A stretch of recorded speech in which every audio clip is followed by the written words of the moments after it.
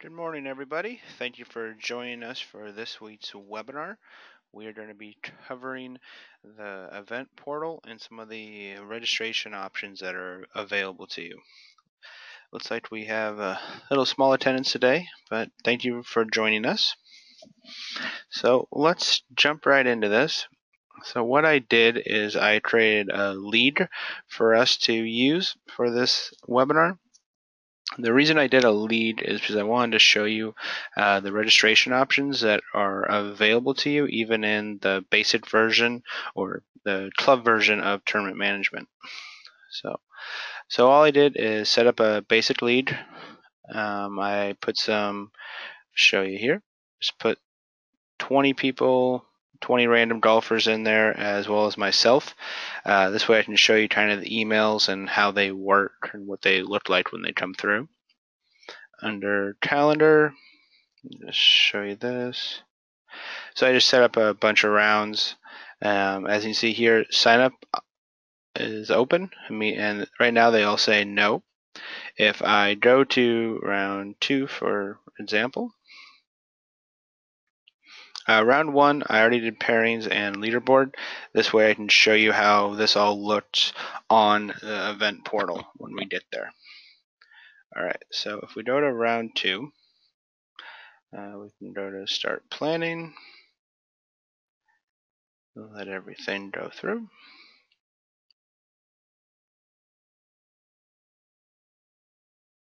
Alright, this is just the round dashboard kind of showing you a little checklist to go through. But we'll just click back here on round two. All right. Now we'll see here that we now have these options at the top for open free signups and this setup round invoice.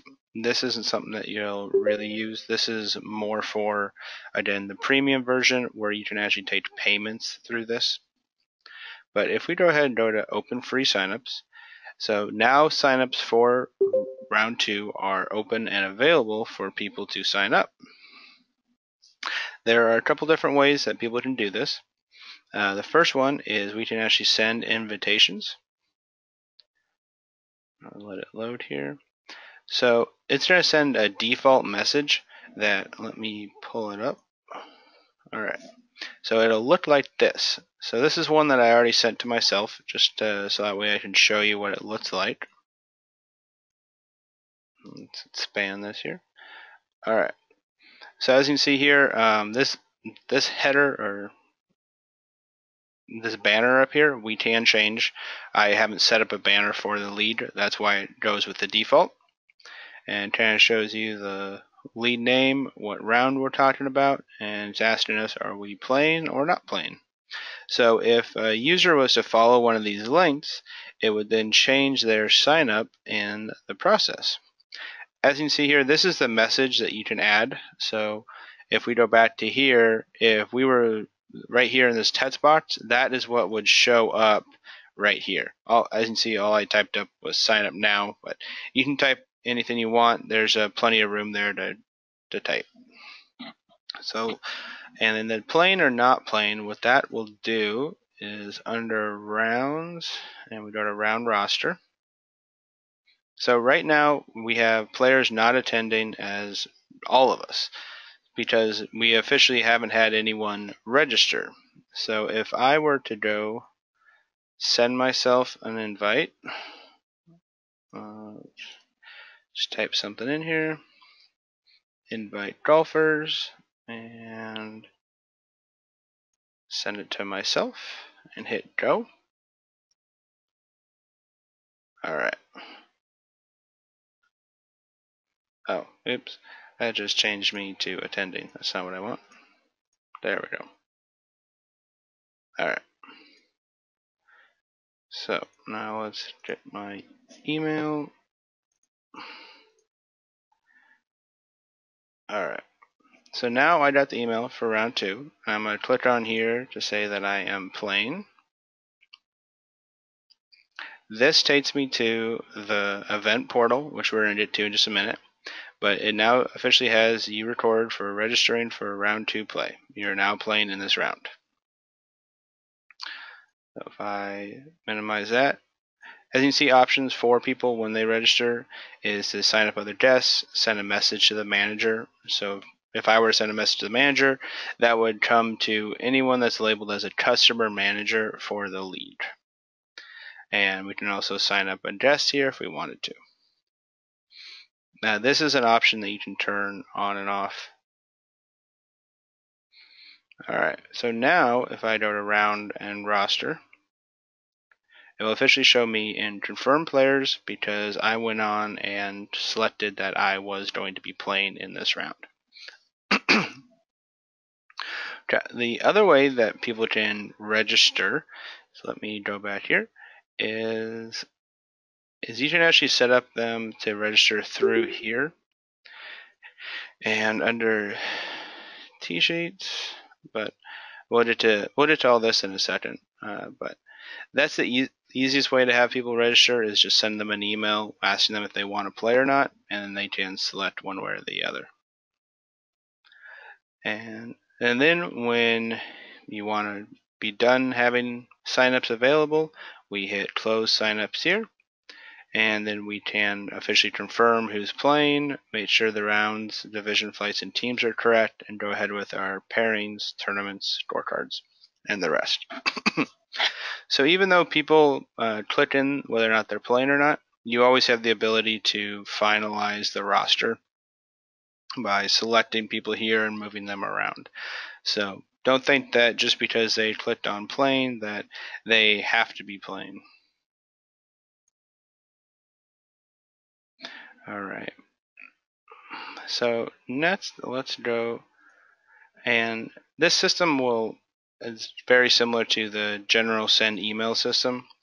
So the send email system that we've kind of talked about a little bit before, these are more for general emails, but um, the registration kind of works through the same system. So the emails look very similar. All right. Now, what we are going to do is talk about our apps. Uh, so under the apps tab, which we haven't really done much in, uh, we have this lead portal. Um, so any lead or event you create in tournament management, uh, portal with a unique website address is created automatically. The system does it uh, just as a generality, so uh, it's something that you can use or not. It is completely up to you. So uh, you have a couple options down here uh, to register golfers to use the lead portal.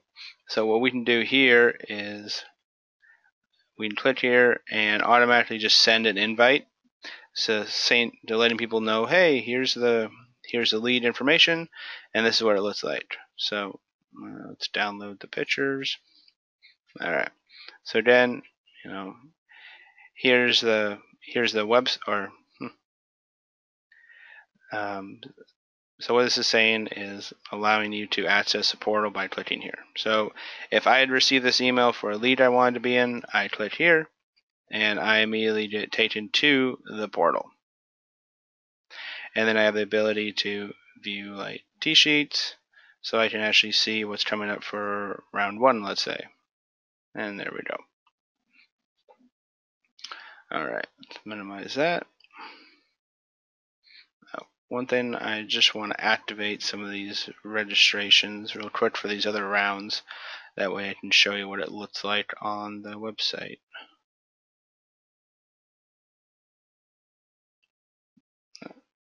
So all I'm doing is just opening the signups for round three. Okay. Mm-hmm. Do round two also. Alright. So sorry about that, but back to the apps. The this is probably the easiest way is to send emails with this link for everybody to go to. The other option is to send the lead GGID to golfers. What that looks like is this option here. So what it'll come up with is just this this code. Uh, this GGID code, for the most part, is um, really using the premium version with the app where people can go on to their phone and view scores and everything. But that's not, uh, we don't have that available in the club version. So what this GGID number is used for instead is if we go to Golf Genius And let me sign out here. Alright.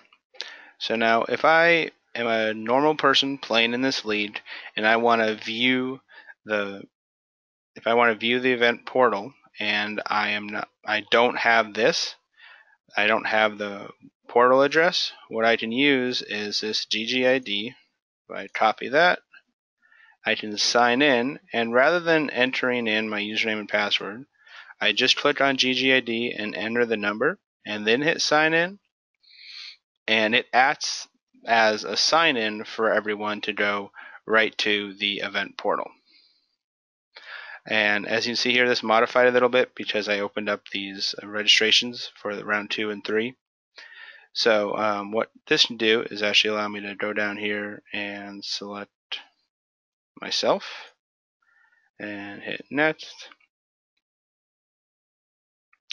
and now I'm officially signed up for the 21st. It's showing me what I'm signed up for, and let's say the 28th, I want to sign up also. Hit OK,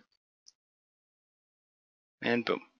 So this is registration for uh, the club version of tournament management, and this is specifically for leads, which is what it's really designed for. But you can do it for multi-round uh, events also but and this is what it'll look like and if I go through and open up the registration for the rest of those these same options will come up for everybody you just have to make sure that people select the right person when they do this alright so that's the GGID number now let's just go to the portal here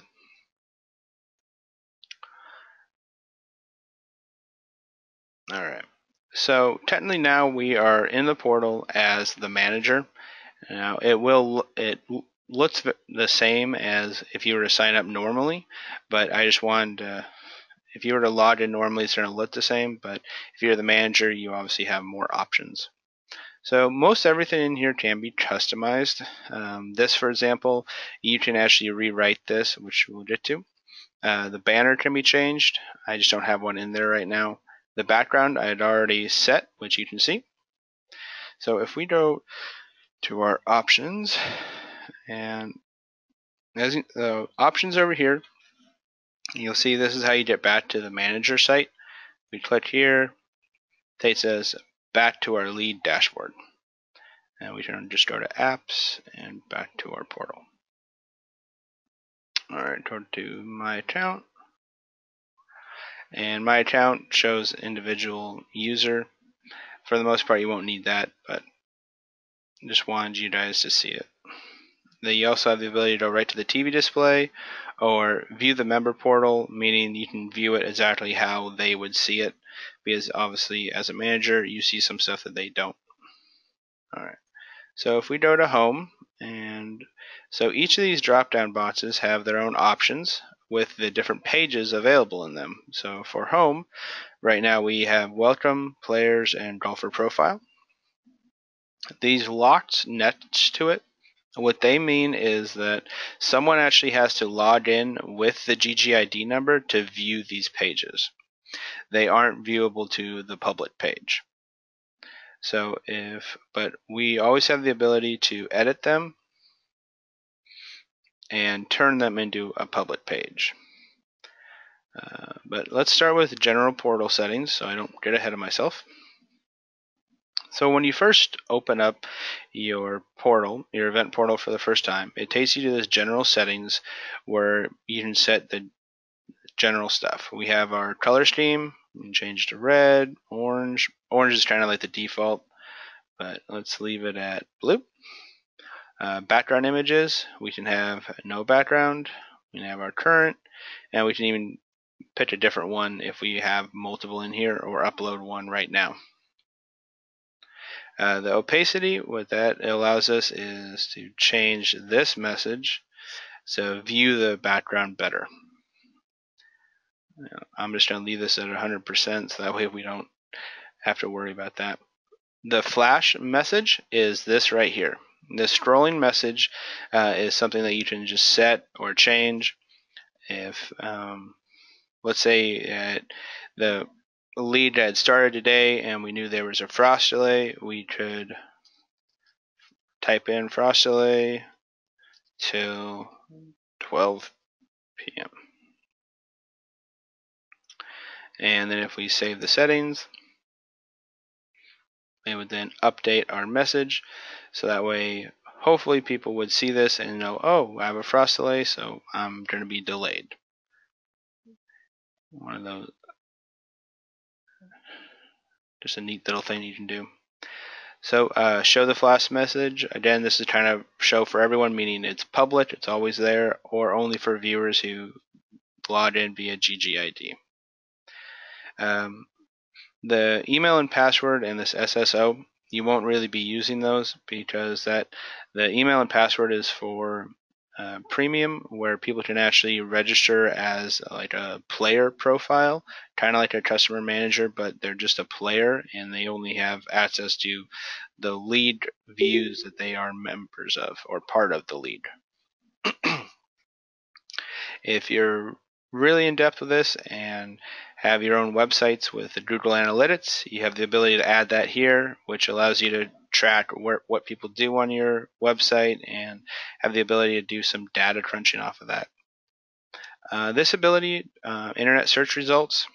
So I've never had good luck with it, but technically, if you click here, you should be able to find this page by searching on Google or Bing. Um, I haven't really used it much, but it that's what it's supposed to do. Uh, down here, we can actually reorder these tabs up here. So if we want social to be first, and then we'll put home at the back, and then analytics there. And then as you see, that shifted all that around. So very general settings, just different things that you can do and set up. So let's start with Tee Sheets I want to show you how this looks. So we're going to edit our tee sheet. Oh, actually, let's look at it first so you can kind of get an idea. Alright, so this is how it starts off. It allows people to select the round that we're looking at. Let's start at round one since this one I built already. We have the ability to go by tee time or by individual. Um, there's no time in here because I didn't actually set a tee time. I just set them up in pairings. So Normally it would show the actual tee time, so you know. So by individual, it shows the individual person on the side sorted by first name.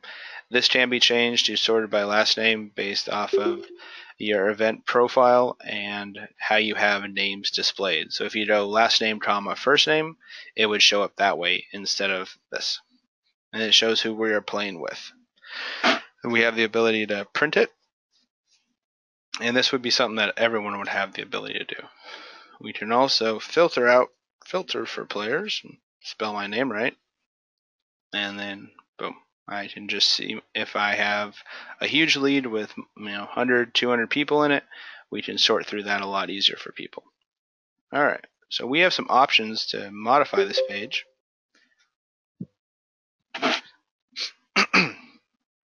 Can rename the title the section that it goes in.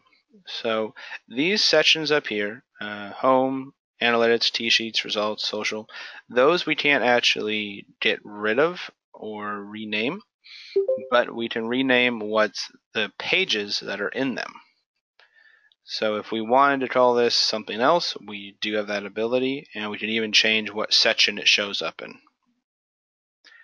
Um, splash page, what this means is that this page will be the first one that people go to when they log in. So right now, the home page is, so this is a splash page right now. But if we go back to our tee sheet and click on splash page and save, now if we go to our splash page, we see the tee sheet as the splash page.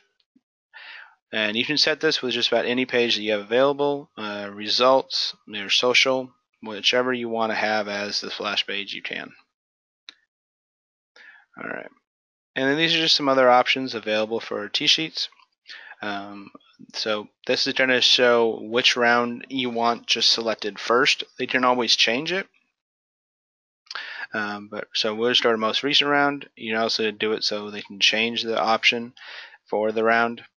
Um, so if you don't want them to view their pairings for other rounds, you can just click this off and they would have to stay with most recent round. If you want to show their indexes, the blinds, course handicap, all that's available. Even if you had a custom field like affiliation, so if you're a club that is bringing people and having like multiple clubs go against each other for this lead, you could show who they're affiliated with.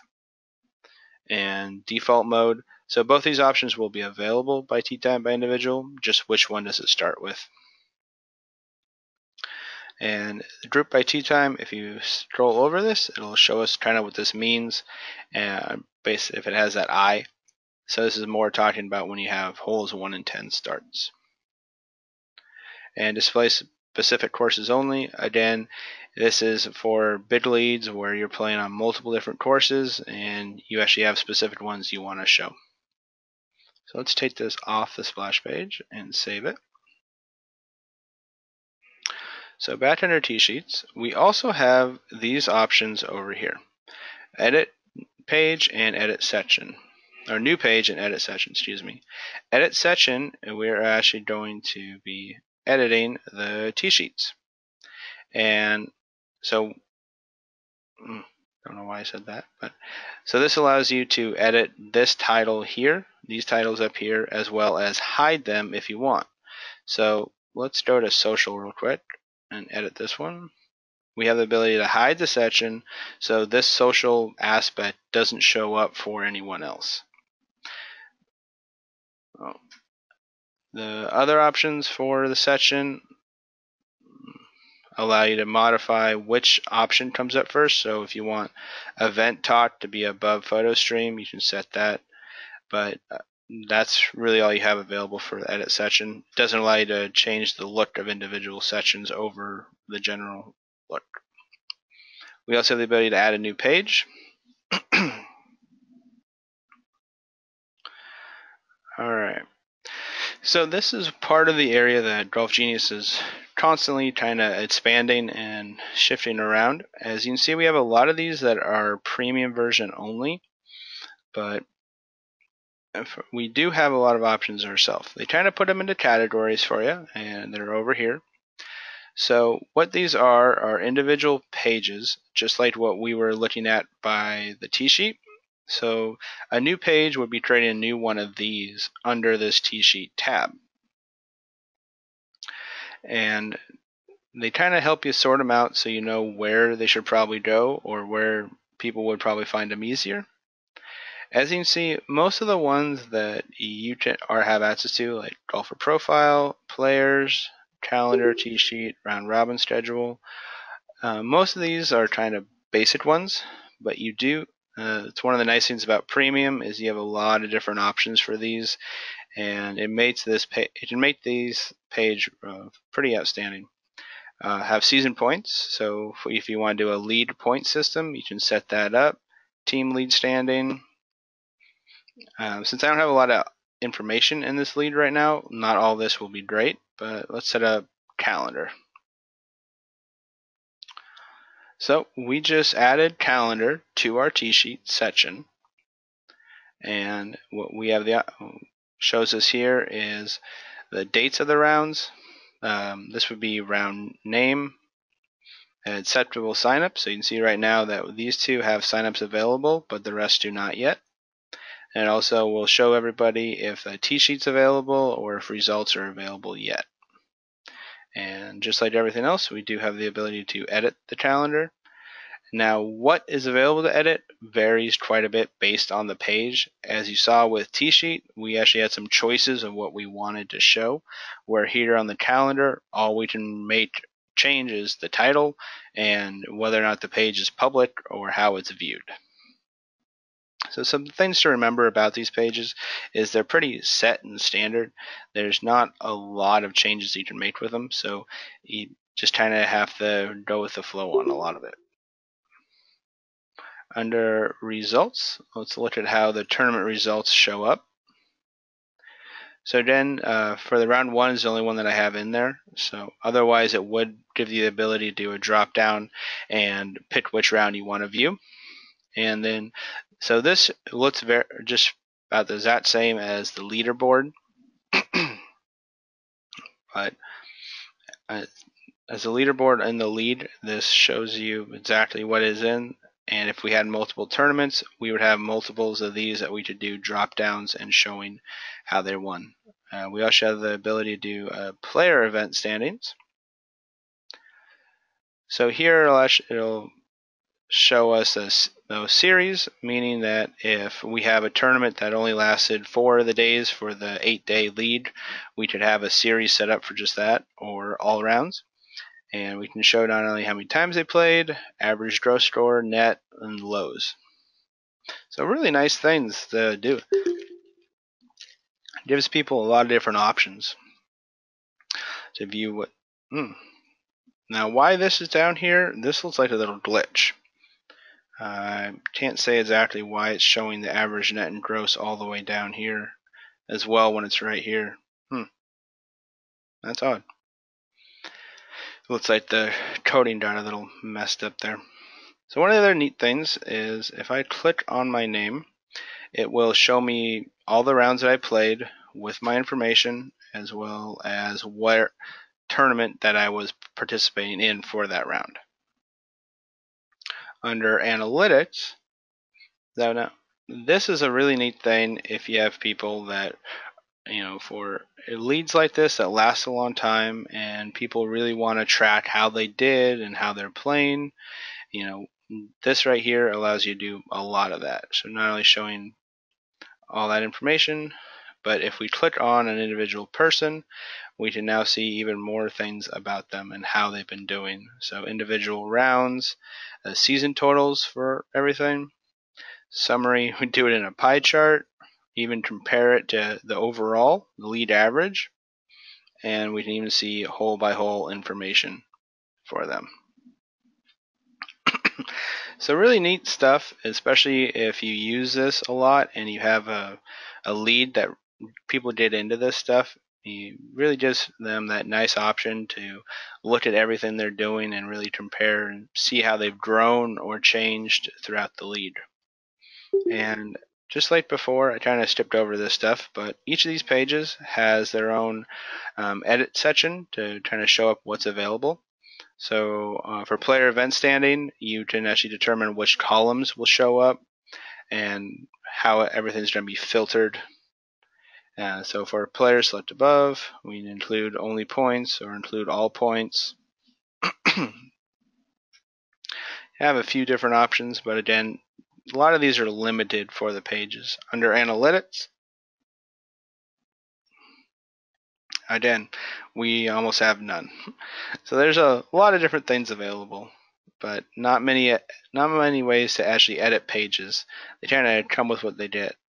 Uh, so let's start a new page real quick and show you some of these other analytical options.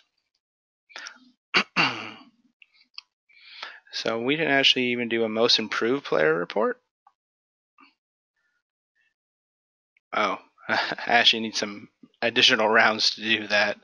But uh, we would, this would show, this would allow us to do an improved player report for the lead. So over the course of it, we could have some fun with that. Um, what else we want to? Oh, let's look at season points. Um, actually, this might not show much just because I don't have any season points set up. Yeah. Um, but season points, I'm actually going to be going over week uh, when we talked about the customer center and everything. But um, I just you do have the ability to show that in your event profile. And so the final thing I wanted to show you with the event profile, I know this is kind of a quicker webinar today. So for all the different personalization and pictures, the it's all again all set here, which we've done over before. Personalize your lead. So for your loader, logo, banners, and backgrounds, photo galleries, and these sort of things are all right here. And this information is also what allows you to customize your event profile. Um, I did not talk about the social aspect. This is something that uh, you can set up you gotta be a little careful with it. Um, so if you actually take photos um, during your lead, you can upload them into that photo section under your event, your lead profile, and actually have al- uh, al- albums available. So, and if you're a premium user, you can actually allow mobile uploads for people to take pictures out on the course and post up on here. Really allows people to get into the league and see what's going on with everybody. Um, one thing that we have at Golf Genius has reminded us with this is you have to be careful with what people upload because sometimes, you know, bad things can be uploaded but without you knowing it and can get you in trouble. So just one of those things to look out for if you choose to do some of these. And the event talk is kind of like an open forum to allow people to talk back and forth on the website. Again, it's one of those things you have to be careful with because once you open it and allow it, people can kind of put whatever they want in there. So you really have to monitor it and make sure that everything is appropriate. But you do have that option depending on you know how much you guys want to do with your leagues. So um, that was pretty much everything I wanted to cover. I know this is kind of a different subject we went over today, less focusing on the how to run the actual tournament and more the look of it. Um, we hope to see you next week, which we're going to be covering the customer center. And for that, what we're just going to be kind of going over is the customer center here. We'll be talking about this general look of it, what these options do, and the different categories up top. Since we started talked about specifically the events and leagues now, now we're going to go kind of the broader view of the system itself and give you an idea of some of the other things that you can do with Tournament Management Club. Well, have a good day, everybody. Thank you for joining us, and hope to see you next week.